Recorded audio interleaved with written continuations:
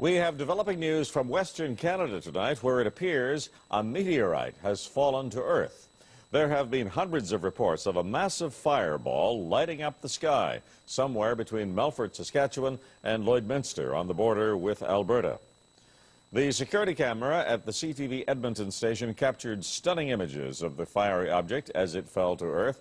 Now let's take another look.